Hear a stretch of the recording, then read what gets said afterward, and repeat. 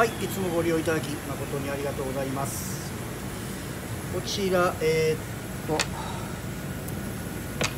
ワンピースになるのかな？はい。はい、えーノースリーブのワンピースですね。はいこちらご覧になってください、えーちょうど胸元になるかと思いますがちょっと筋状のシミですかね。黄色っぽいシミですね。が付着しております、まあ、こちらだけですかね、えーシミの付着があるのは。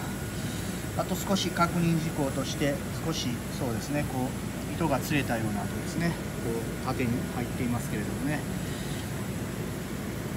はいそのような状況ですね。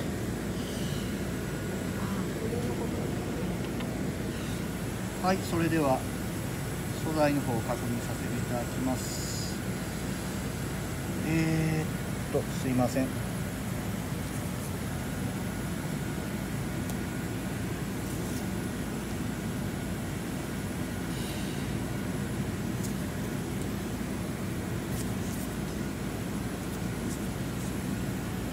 レーヨンですねこちら。はい、えー、レーヨンが100%のお品ですね。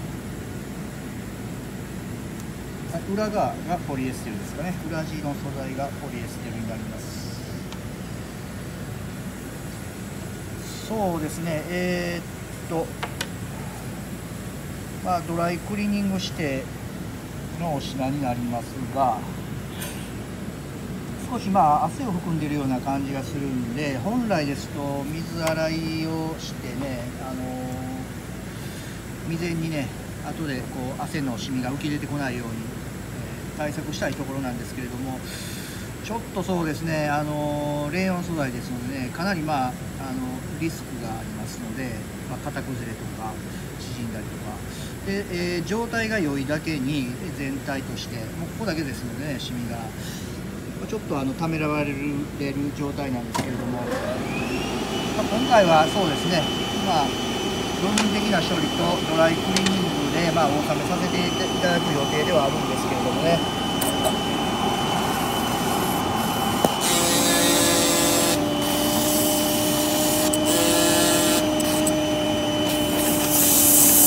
まあ、なかなかそうですね、まあ、汗がでいるっていうことが分かっていてもどうしても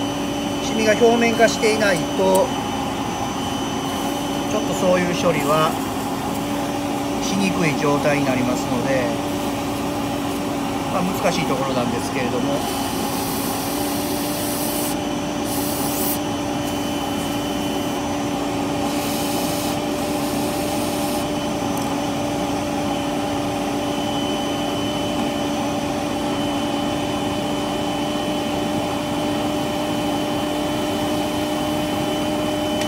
金属を含むようなシーンですかね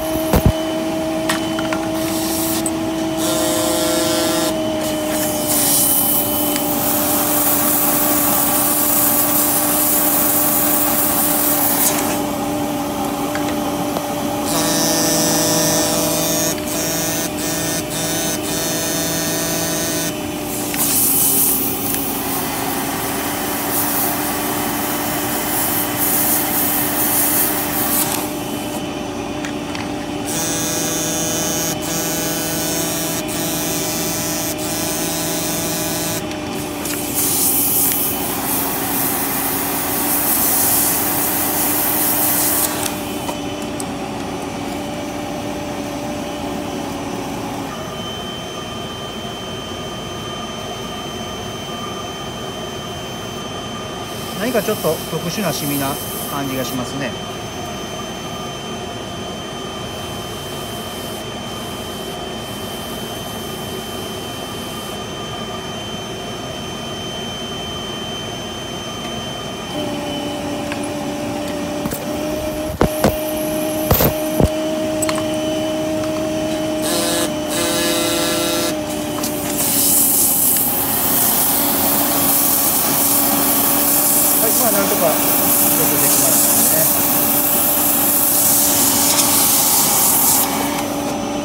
そうですね汗抜きに関してはまあこういうところがねおそらく基盤でくる可能性がありますので。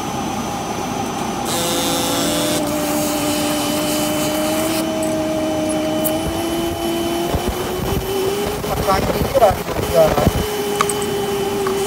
まあ、汗抜き、部分的な汗抜きですね。まあ、こんな感じでね、まあ、少しでも予防になればねいいんで。もうちょっとね全体に汚れがないとどちらを取るかですね、あの型崩れのリスクを取るのか、汚れ落としの、汚れ落としをね、優先するのかなんですけれども、汚れがない状態ですのでね、まあ、あの今回はドライクリーニングで、まあ、処理させていただきたいと思います。